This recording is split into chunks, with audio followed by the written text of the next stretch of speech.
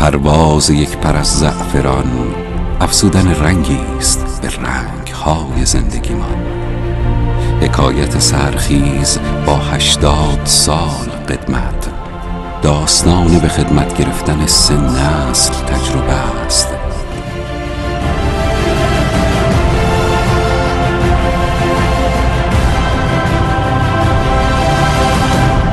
شیرینی و برکت مجاورت همراهتان.